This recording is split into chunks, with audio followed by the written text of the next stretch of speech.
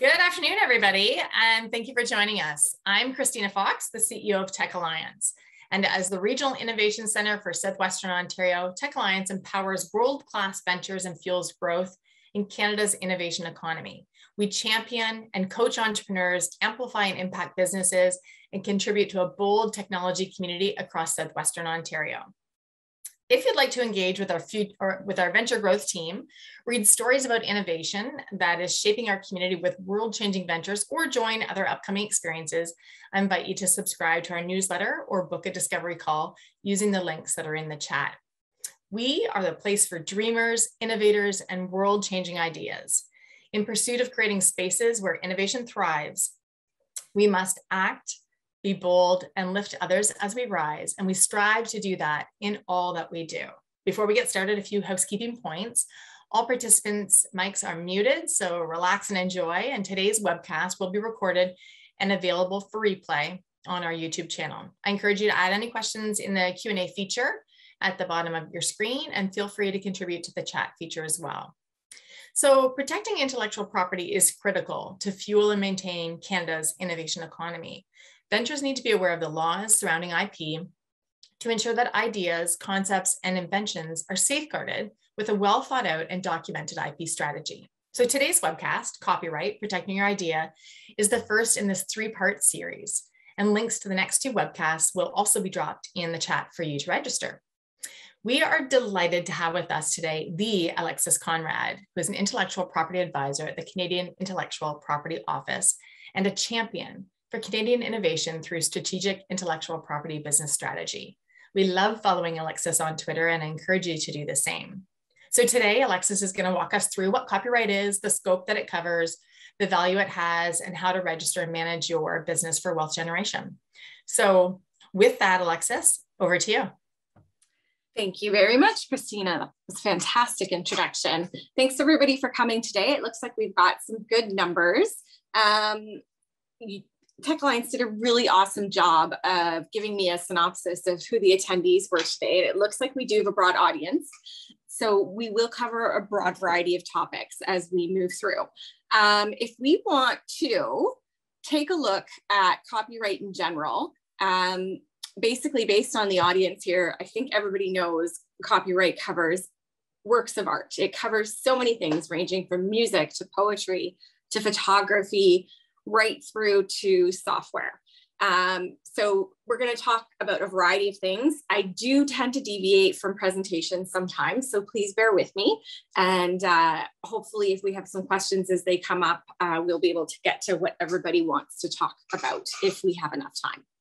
Okay, so basically, I just mentioned that copyright covers so many different things. And especially as we are living in a digital world, it's pretty much impossible to avoid uh, copyright protection in anything that you do.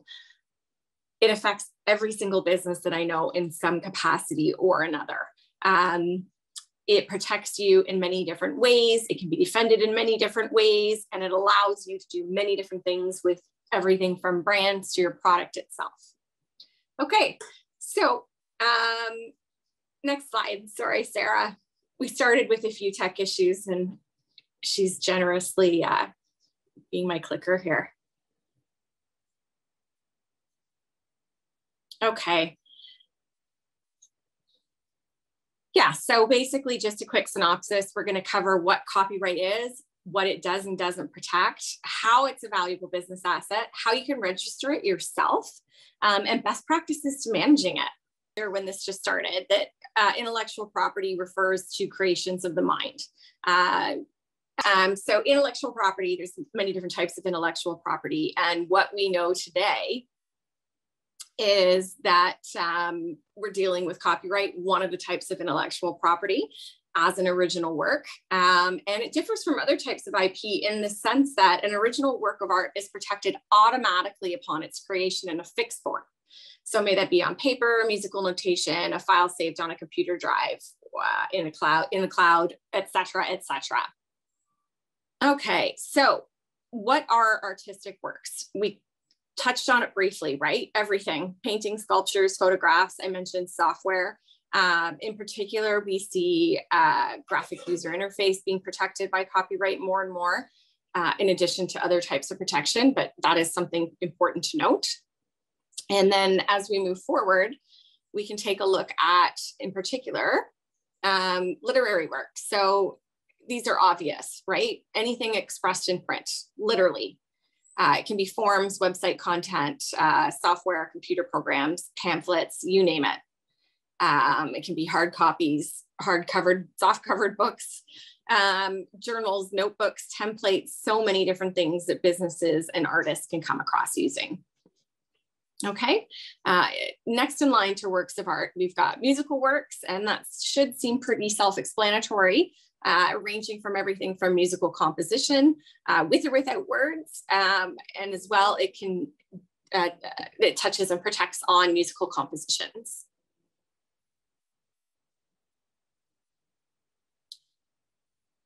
Okay, dramatic works. Again, it should seem pretty obvious, but again, motion picture films, actual plays, screenplays, and scripts related to all of these things. Um, an interesting thing we can talk about is we see a lot of people wondering how individuals are ripping off others' songs and doing uh, parody covers and things like that. But as it goes with copyright, you tend to be able to get away with um, you tend to get away with things from a musical perspective when you do turn things into a parody. Okay, so types of works, we're dealing with compilations, so arrangements, right? That can deal with everything from dramatic works and musical and literary, but also data. Uh, and this is becoming absolutely in, integral in today's digital uh, economy. Um, they're more and more valuable. They're being valued differently in businesses. They are protected differently and they are seen as something to be paid attention to. Okay, so our next work of art. Um, okay, so we, we weren't going to go into comedy, but I made a brief mention on that. Okay, so what basically is copyright? right? It basically, it's the exclusive legal right to produce and reproduce, publish or perform your original artistic, literary, musical, or dramatic work. To obtain it in Canada, you have to file an application with the Canadian Intellectual Property Office if you want it to be formally registered. Copyright does not need to be formally registered to be considered a legal right. You can benefit from automatic protection just by the creation of your original work of art. Okay. So what does it protect? Well, all works of art in the Copyright Act. Um, and it allows you to prevent others from reproducing your work or any substantial portion of it. Owning that work means you have the exclusive right to commercially benefit for its use. Those who want to use your work have to acquire it or get the right the rights from you and get your permission to use them.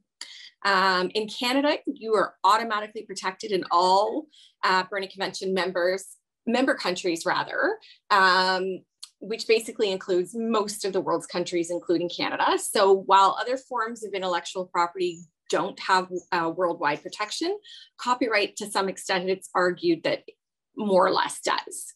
Um, and in Canada, you benefit from moral rights, which is something we'll address later in the module. And moral rights are not something that are protected uh, in every jurisdiction to the same extent. Okay,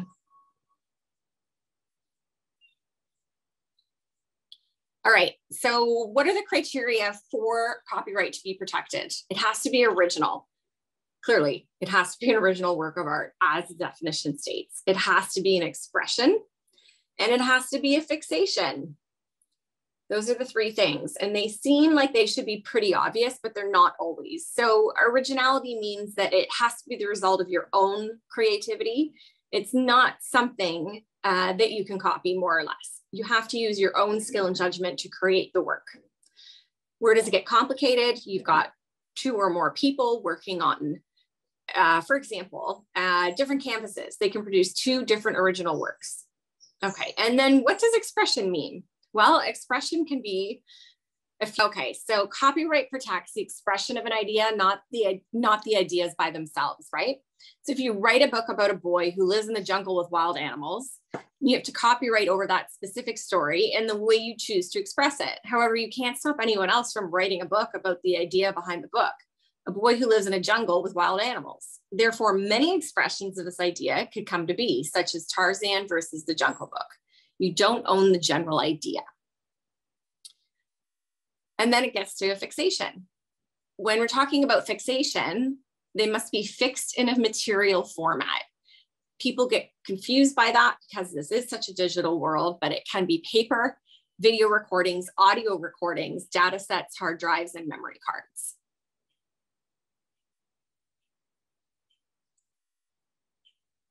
Okay, so yeah, just a little image that makes it right. So related rights. Okay, neighboring rights that protect the legal and economic interests of certain persons and legal entities contribute to making works available to the public. So we've got three categories of beneficiaries when it comes to related rights.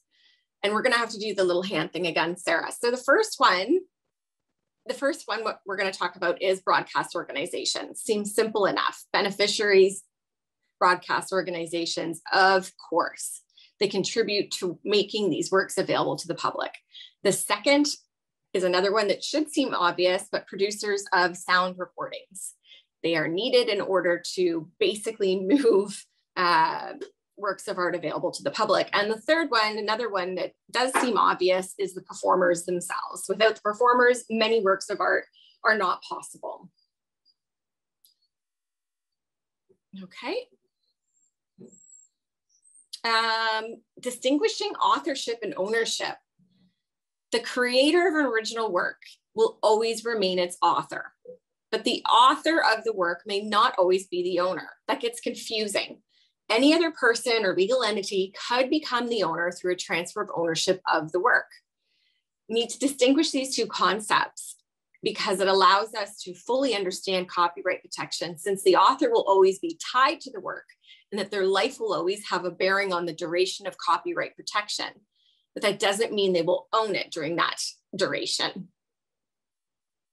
An example of where we see this sometimes has to do with um, musical works. Uh, you will have an artist who will pass away. Um, the estate will go on to own the work, and depending which jurisdiction that that individual lived in, the estate may continue to own um, that copyright for an additional 50 or 70 years past the date of death, which is why we see royalties for deceased artists continue for so long.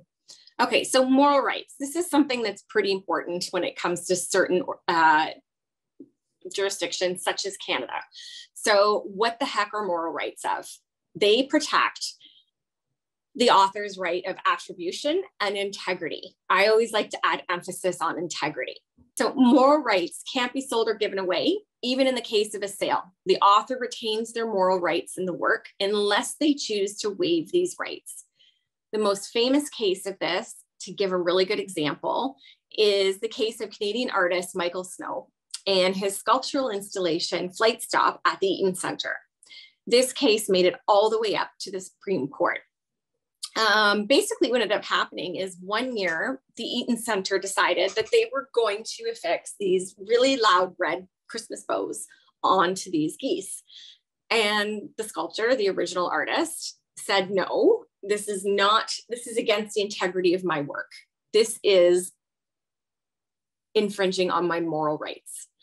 I did not want these geese to represent any given type of holiday, any type of particular culture, et cetera, et cetera. And he got fought all the way to Supreme Court and he was awarded, uh, he won. And uh, the Eaton Center lost the right to alter the geese as they saw fit. Now, a direct result of this case going up to the Supreme Court is that now, when many artists, and even within software where people are commissioned to create something, part of that contract is they are asked to sign away their moral rights. Okay, Copyright symbol. What does it mean? Marking your work with a copyright symbol is not mandatory under Canadian copyright law, but it's a really useful reminder to anybody that may be thinking about ripping off your original work of art. You can very easily use the copyright symbol followed by the name of the copyright owner and the year of first publication to put people on notice that this is in fact something that I do value as copyright that I created. A really good practice but you don't have to use the C symbol.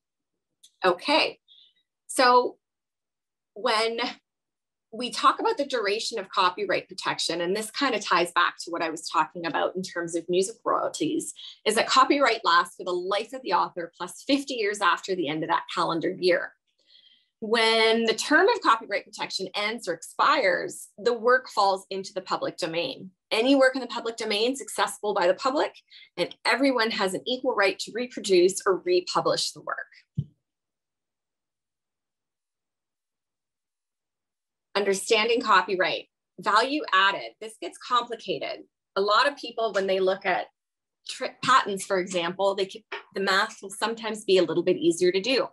But we'll start by talking about, we'll click on the green dollar sign here. Um, it rewards authors obviously for their efforts because of their economic incentive, right? They can either license or sell their rights in their original works. They can buy and sell. Sorry. Trade and reproduce. Keep going. And uh, brand images. Okay, so while people traditionally think of a brand as solely being protected by trademark, the brand image itself, jingles associated with it, promotional materials are protected by copyright as well.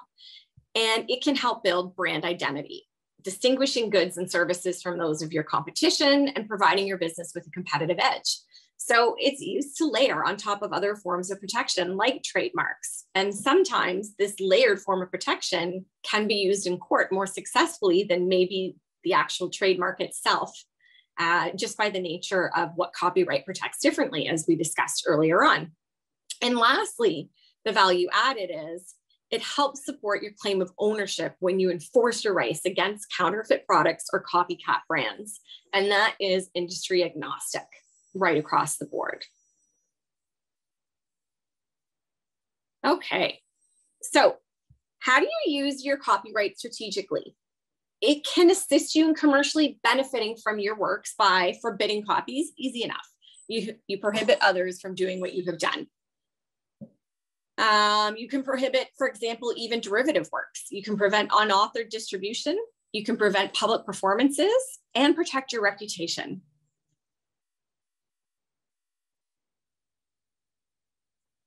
Make sure you own the work though. The creator of an original work is normally the owner However, if the work is created in course of employment, it's often possible, if not usually the case, where the employer owns the copyright in the work. Again, referring back to authorship versus ownership. If you commission someone to create content for you or on a for hire basis, they may also legally own the copyright in that work. So it's a really good practice with any of the contractors and employees you're using that are creating any form of copyright, that you have them assign copyright ownership according to what works for your business. If it's important for you and your business to own that copyright. And also consider moral rights within creators, because even if you own the copyright, the moral rights remain with the creator unless they're waived.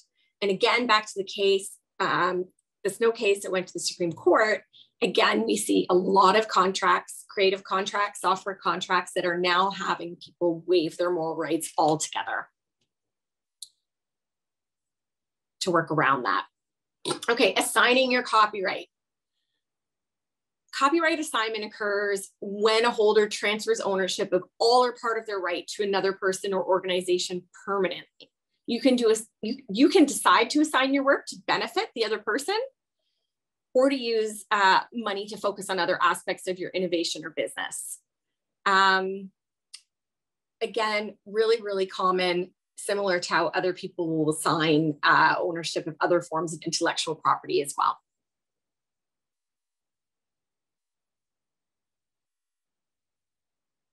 License your copyright. This one should seem obvious right? An alternative to assigning your entire copyright is to license it away in a limited capacity, and it allows people to remain some control over their work in other conditions as well. Okay.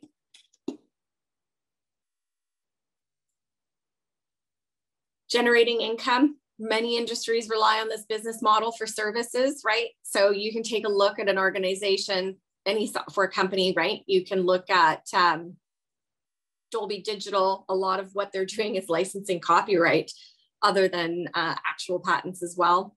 Video streaming services, another example in our digital economy, this is a big money maker when utilized properly. How you set it up to execute it that way will depend on your business model. It will depend on your product or your services related to that product specifically and your own business plan, what your own objectives are. There is no perfect way to do this. It's going to depend on a lot of criteria, which is a really which is a prime example of why you need to bring in copyright experts when you get to that point. Okay. Um, yeah, licensing, right? You can do exclusive licenses based on jurisdictions. There's many different ways to do it where you can still remain in control of who uses your copyright and under which circumstances.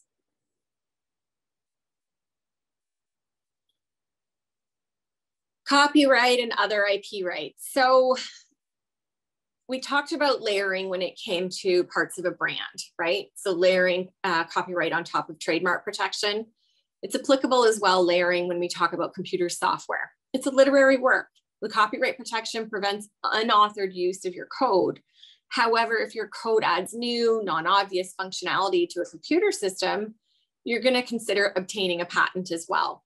You don't know in the future which method will or of protection which layer of protection will allow you to get further if you are trying to defend uh, against infringement. And sometimes it's pretty surprising that it may be copyright over an actual patent. Okay Oh, Le Cirque du Soleil, yes. So copyright and other IP rights, we this is right back to the brand identity um, this artistic design on itself, uh, on its own, never mind um, the fact that they can also copyright Cirque du Soleil, uh, the design itself is a layered protection on top of the trademark. Okay. Um, how do you register? Oh, in Canada. Now remember, this can change. You don't have to register it because you do get copyright protection automatically when the original work is created. But there are benefits to registering in Canada, such as rights in court. If someone does infringe upon your copyright, it is much easier to take something that is formally registered to the courts and say, see, it's formally registered, it's mine, I did it first. Please make whatever they're doing stop as well as a notice to the public. You have the registered rights. You can publicly say, hey, this is mine. Do not participate with this um, infringer. They are not the real deal.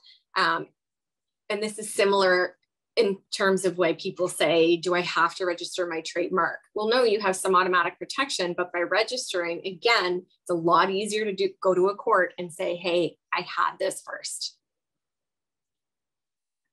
Uh, but you do have to keep in mind, just like with a trademark, which uh, other countries you're going in.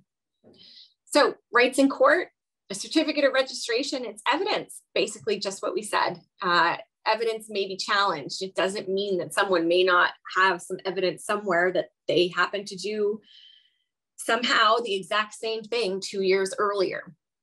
But it will be a lot easier to work this out if you do have your original registration. Okay. Um, other than rights in court, we're talking about uh, our rights in public next and uh, notice to the public. If it's registered, another party can't claim that they were not aware and had no reasonable grounds for suspecting that your work was protected by copyright. They can't get around that concept. And again, that's just something else that will protect you in the courts as well. Uh, how do you search a copyright database? Well, there's a couple of ways to do it. In person at CIPO's Client Service Center pre-COVID, Now you can make a phone call. Um, and we have a Canadian copyrights database online as well. So it's a good idea to do a search before you go through the rigmarole and putting up some money to register it formally. Very, very easy database to use, um, our Canadian copyright database. And if you have any questions, our client service center is always available to walk you through it. If you are working with a very large team and you have someone on your team responsible for copyright, this may be something they have a lot of experience doing themselves. And if they are, they may not need assistance and they will be able to do that on behalf of your business. Um, identifying the work, right? So every application for registration has, um, it has to be restricted to a single work. You can't put multiple works of art into one registration. That does deter some people as they see that basically as a way for cost to creep up. I we didn't worry too much about that because as you're working through what you're going to do with your copyright, one of the first things you're going to do is try to identify of all of the things you could copyright, which is most valuable to you. And typically people start with their top few and work their way down from there. And you can't include descriptive matter that doesn't constitute part of the title. That is the other thing that hangs people up in the process, especially when they're working on books and encyclopedias. Okay. What do you include? Your name and address of the owners, the name of the authors of the work. Again, remember owner and author, not necessarily the same thing. The title of the single work, the category of the work, dramatic, artistic, etc., and the date and place of the first publication of applicable. Pretty basic. Although sometimes people do have a difficult time looking back and trying to figure out when it was specifically first created. All right. Other things that you're going to include on your registration um, is a declaration confirming that the applicant for this actually is the author of the work, the owner of the copyright of the work, right? Uh, an assignee of the copyright or a person who has an interest in the copyright has been granted that license. So the owner of the copyright in the work can be a business, and that is where you will have a representative helping you out with that. Sometimes in-house, sometimes not, sometimes external counsel. Okay. Then you submit your registration. You have to pay fees. You file it, send it in, online or you mail it the old fashioned way. Um, you don't need to include a copy of your work. They don't review or assess your work in any way. So copies of works will not be accepted. And uh, once you receive that registration, there's nothing further you need to do to maintain it. No further fees that you would sometimes see to maintain or that you do see when maintaining trademarks and patents, etc. Okay managing your copyright, assignments and licenses. For Canadian copyright, you can register any assigned or licensed uh, contracts of your work with CIPO directly. You can submit the original agreement or photocopy of it online by mail, along with the prescribed fee for each work affected by an assignment of a license. CIPO will retain that copy of the documentation and return the original documentation with the certificate of registration. What I always tell people if you're in a situation where you need to register a license of your product, please, please, please do contact the Intellectual Property Institute of Canada and make sure you are working with legal representation so that someone is making sure the contracts you are using for the licenses that you are granting are in fact the right contracts to be using. I cannot stress that enough. You absolutely need to be flagging a professional at that point. Okay. Um, monitoring copyright infringement. How do we do this? It's a really hot topic in the digital age. It's so easy for people to copy works. Infringement occurs the moment a person uses content protected by copyright in a way that violates your rights as granted in the Copyright Act. So, what do you do about this? Well, you have to monitor it to make sure it happens in the first place. So, if we go to the next slide, what we're going to talk about unless they've changed it, is monitoring the infringement itself. Um, and how do you catch it? So in larger companies, often there's whole departments that work on this, especially where copyright is such a valuable, valuable portion of their IP portfolio. There are third party organizations that monitor copyright infringement. There are software tools that monitor copyright infringement. There are legal firms that have people on their team that can help monitoring copyright infringement as well. But if that copyright infringement occurs, only a court can rule whether that infringement of copyright has actually occurred or not. Another reason why it's a really good idea to have it formally registered. Okay, so what do you do? To help avoid, so for you, you want to know that to avoid infringement issues and litigation, a really good rule of thumb is to seek authorization before using someone else's work. So as much as you're worried about people ripping you off, you need to be equal, equally respectful to make sure that you're not doing the same to somebody else's work of art. And this can apply to software as well. How do can you do this? Well, you can search the register of copyrights to find out. And often you can find out directly within companies' websites what their copyright is. So if you know what you're doing and you're questioning whether or not you have the right to use something, check the language is usually right there if you look for it. Okay. Um, fair dealing. Okay, so fair dealing, it's an exception in the Copyright Act that all the journalists I love to know love to talk about and sometimes take advantage of in ways that they have learned how to do. So what this does is it outlines permitted use of works protected by copyright for specific purposes without authorization education, right? So right now I'm using a deck that's been produced by the Canadian Intellectual Property Office, and I'm using it to educate you at the Tech Alliance. So there would be nothing wrong with Tech Alliance using this presentation with their own materials that they provide to all of their member companies to help keep their membership educated on the subject matter. No harm, no foul there. Research and private study, fine that one can get sketchy. Um, and parody and satire. That's what I mentioned when we were talking about uh, cover songs that definitely are parody. We see comedians often ripping off comedians, although comedians have a really interesting way of letting each other know that what they have done in terms of copyright infringement is not funny. And they usually take to the stand of just making fun of another comedian for ripping off their idea and letting it go back and forth. And it's kind of their own little way of dealing with infringement that can be quite humorous.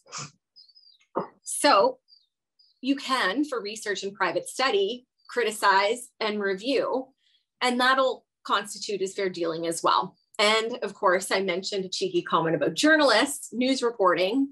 It definitely qualifies as um, a fair dealing. But what you need to do when you're criticizing or reporting, you have to state the source and author. Otherwise, it does not constitute fair dealing.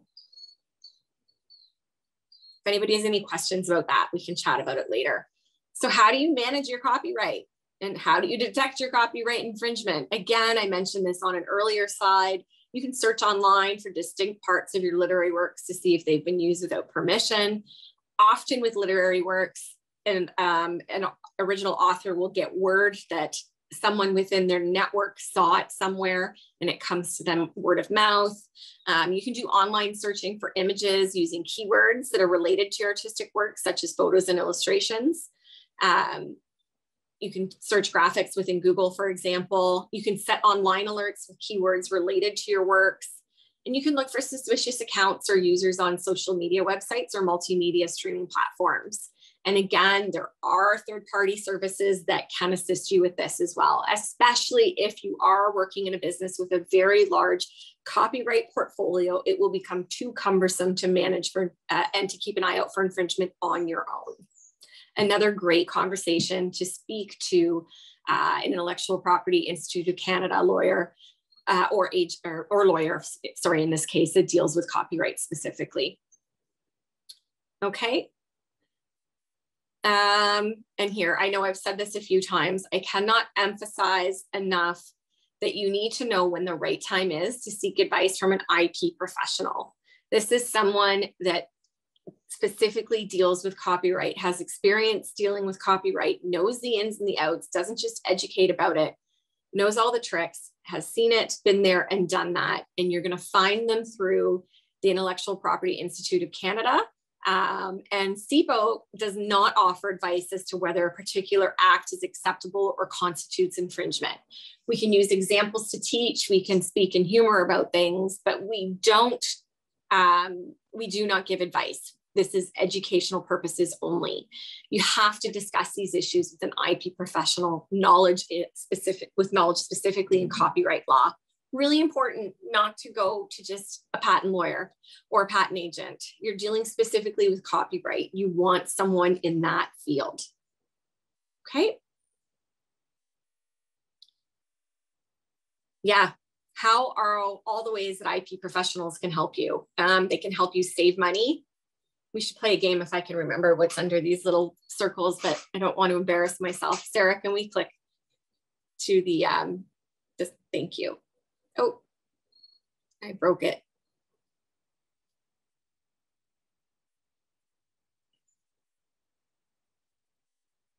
Yeah, there we go. So IP professionals can help you by explaining all of your um, potential types of protection, the exemptions and the limitations.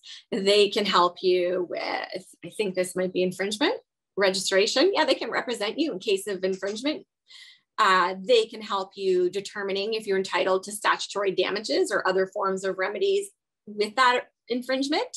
And they can help you with writing assignment and licensing agreements. Those are the contracts we were speaking about earlier. The moment you are looking at licensing out what your original work of art is you need to be flagging a professional. And I would also say they can help you with third party monitoring and all sorts of things that circle around the world of copyright protection. Okay, so some resources. The CIPO website, we've got some walkthroughs. We have some more educational uh, modules if you're interested in learning more in depth. We can help you apply. Um, online services, more. Um, we've got some videos. We've got uh, we have some other other decks as well, and everything is accessible through our copyright webpage. Remember, different jurisdictions are going to have a bit of a different ballgame when it comes to uh, copyright as well. So if you're not just protecting in Canada, you want to make sure that you're learning the ins and outs of other jurisdictions as well. So on the next slide, we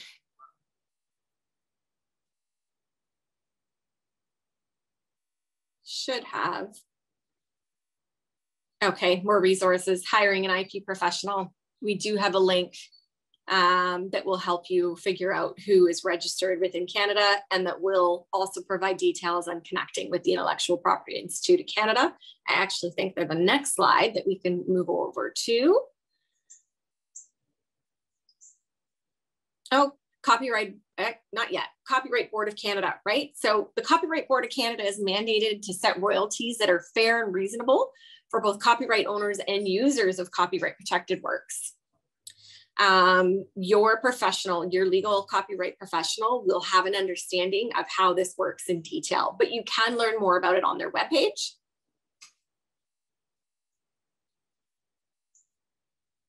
And WIPO, the World Intellectual Property Organization, another fantastic resource for education. And what it does, it provides an international angle on copyright protection. You can consult their webpage to get a bunch of information. If you ever have, I know as entrepreneurs, you have so much free time, but if you do find yourself with some extra time and you'd like to learn more about the international angle, WIPO is a great organization. Okay. And lastly,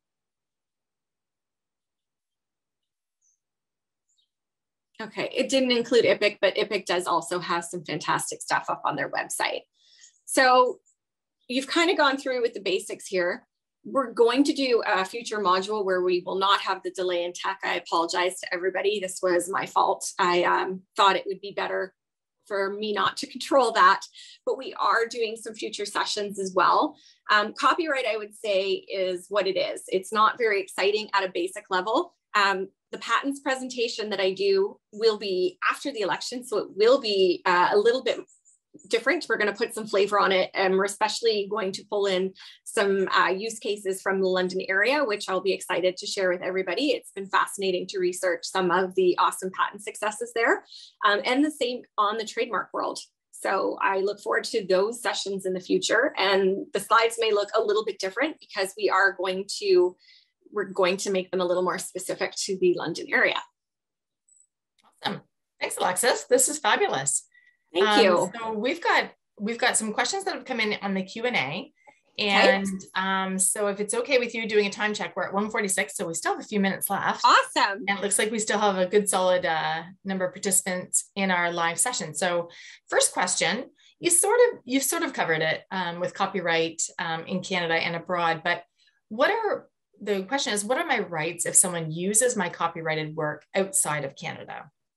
Okay, which question was that? Uh, was that your question? Yeah, it's a question on here. Got, yeah. So, what are my rights if someone uses my copyrighted work outside of Canada? Oh, outside of Canada in the digital realm? Mm-hmm. Yeah. Okay. So, first of all, what you're going to do is you're going to call your copyright professional. You're instantly going to call someone. Um, depending on how it has been infringed. It can be dealt with within the Canadian court system, um, depending where that person is located or how they accessed um, the, the website or they've accessed the materials or where they have copied those materials where they've copied the materials may be different from where they actually exist.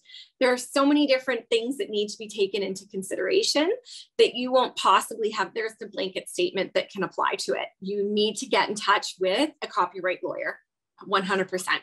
So many different things that need to be taken into consideration, and they're the only individual group of individuals that are going to be able to assist with that. Okay.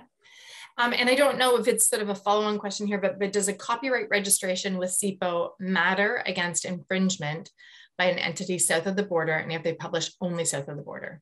It absolutely can matter. Again, it's going to depend on the specific situation. Um, and another reason why it's a fantastic reason to make sure you actually did register.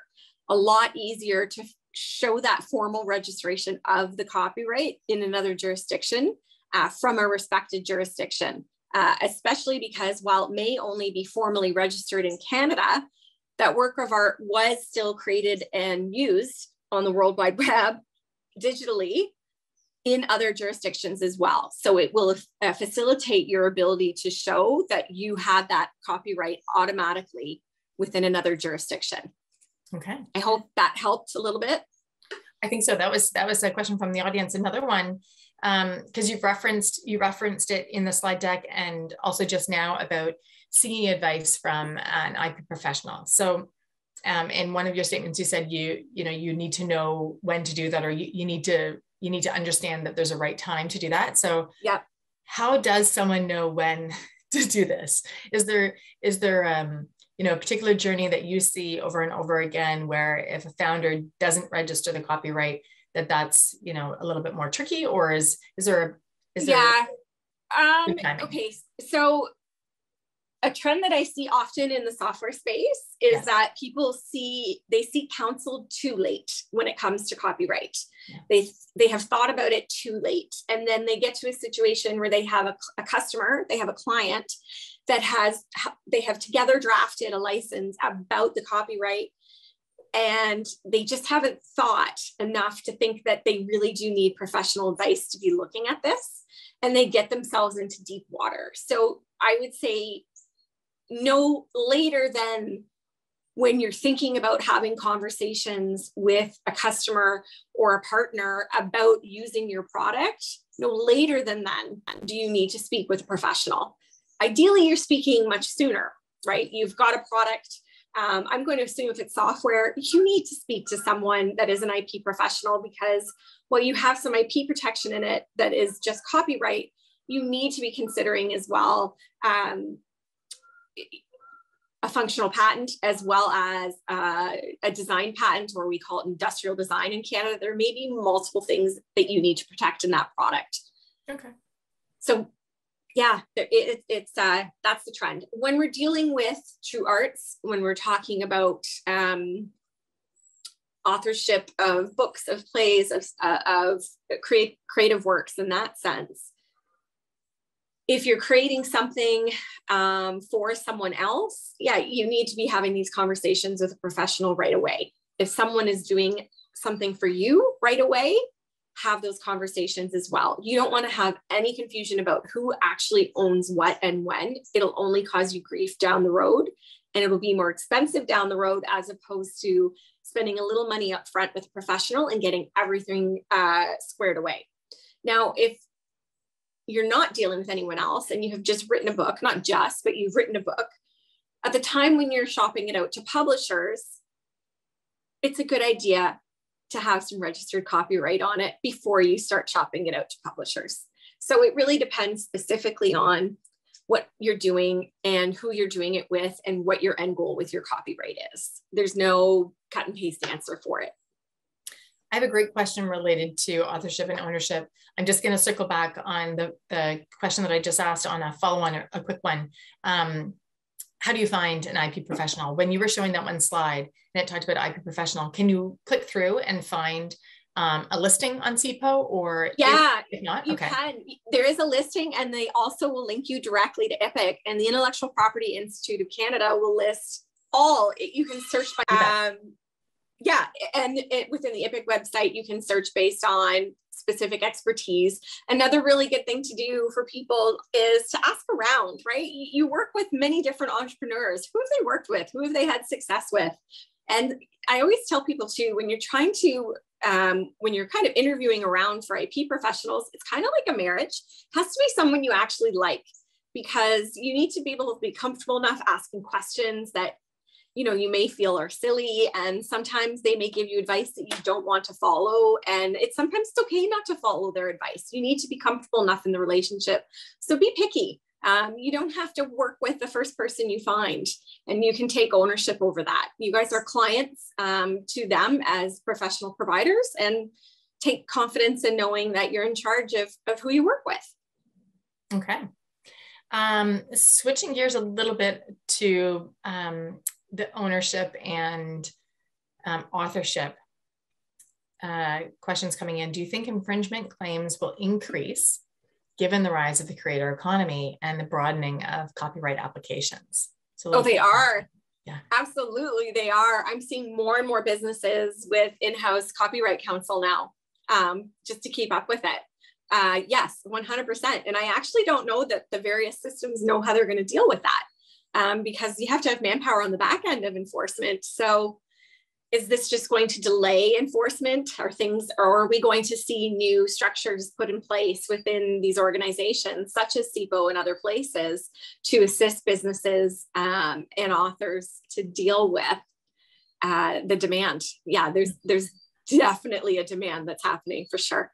And you think if it's a, a, a manual game of whack-a-mole to to chase and look for copyright infringement on your copyright, um, then it's the question of how long does it take to to uh, uh, settle um, any of the the claims. Okay, so another another switching gears, um, a question about cost benefit wise. Is yep. there preferred best practice on which type of IP protection to get first?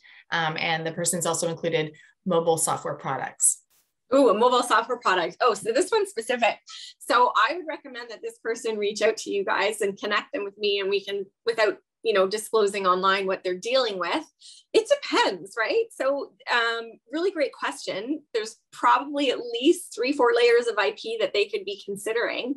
And the answer not only depends on your specific product, but it also depends on the global situation. What's the landscape with the business that you're working in? What is your competition doing? What are they filing? There might be a reason they're not filing a certain type of IP because it may not be very relevant in um, the hottest jurisdictions that you're dealing in. Um, so lots of things to take into consideration. A really good reason to look at doing an IP landscaping exercise early on. Okay. And going back to sort of the creator economy, what uh, or employees, because we were talking about ownership and authorship think of um, not a creator, but instead an employee of a company, what should they be doing to, to protect themselves with their creations when they're working? Oh, in a, in a, a gig economy, are talking about the gig economy? How do they protect themselves? I have seen some really bad things happen in that economy.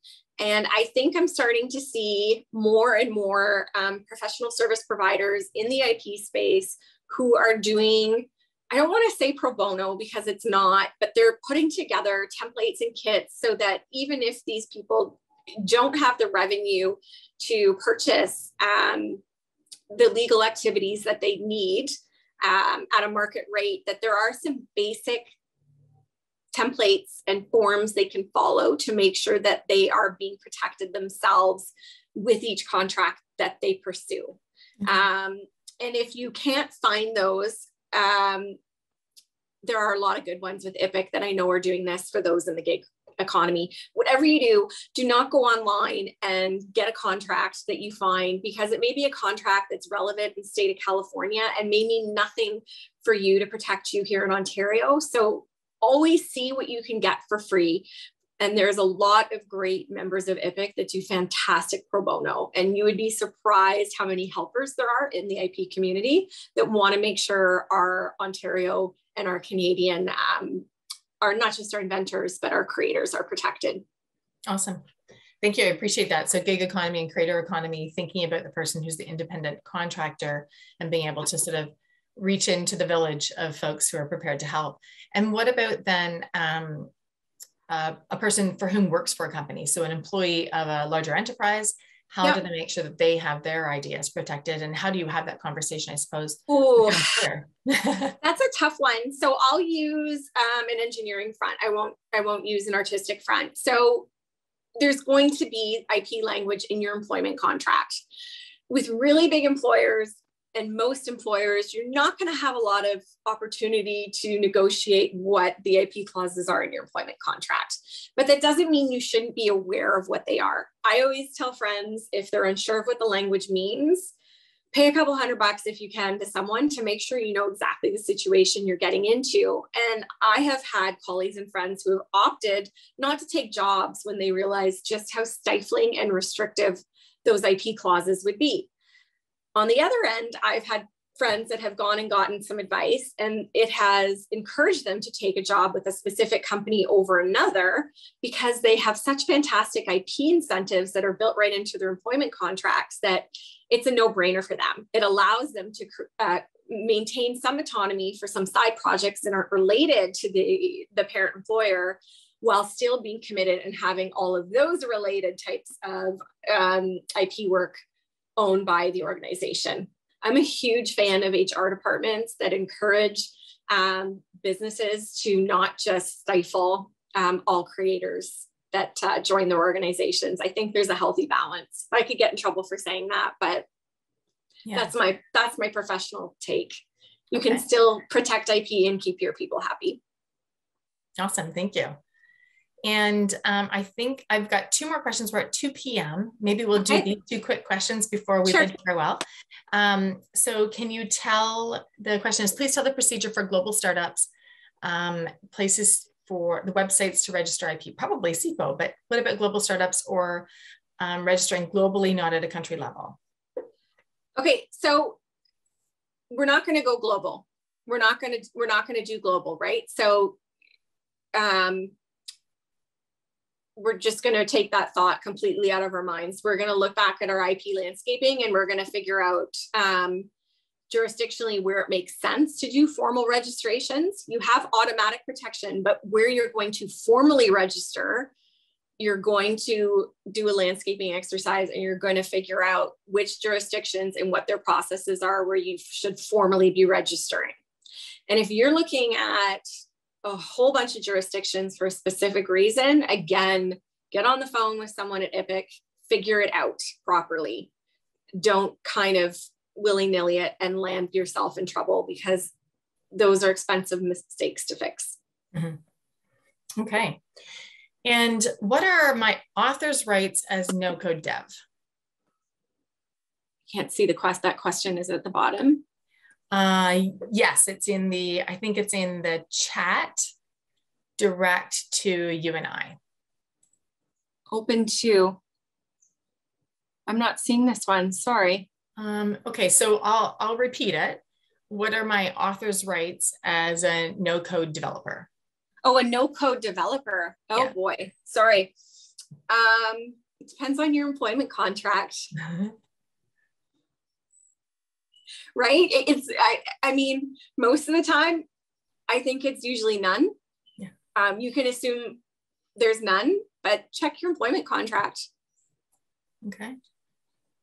Sounds good. That, yeah, I sorry that was kind of blunt, but I'm not sure if there's if there's more background to that, whether or not it's someone who is developing a no code platform um, that is used by others, or whether or not it's the author is developing uh, no code on behalf of their employer. So I wonder, is would there be yeah. any different response if it was somebody who is a creator developing no code um, as as a developer? It would depend on the situation. Yeah. Mm-hmm. Best to be in touch with an IP professional or connect with folks at Yeah, yeah we can connect we can we can you know get some educational examples but we we can't give there's no legal advice there's just some educational examples and we can point you in the direction of someone if it's of great concern we'll help you hunt down this specific answer awesome well on that then um, we're at uh, just past two o'clock so it, i have the great privilege of thanking you for joining us today you Thank have you. enormous amount of applicable and, and uh, pertinent information about copyrights. We love the fact that we are with you for a three part series and that we get to pick your big brain again um, over the you. next uh, couple of months. And so as a, as a regional innovation center, and you kind of reference this, that we certainly aim to inform and educate industry leaders and founders on how an IP strategy really helps to fuel their growth and fuel Canada's innovation economy and the idea of wealth creation. So I really appreciate that you spent time with us again today and being able to create some evergreen content while we're doing this to help entrepreneurs navigate through their journey. And we look forward to chatting with you again. The next two webcasts uh, in the series are industrial design, the product looked, and that's on September 23rd. And yeah. the uh, third is the trademarks protecting your brand on September 30th. So until we see you again, All right. care and we'll and talk to you soon thanks for having me. This was great. I look forward to seeing you guys soon. Awesome. Thanks, Alexis. Bye for now.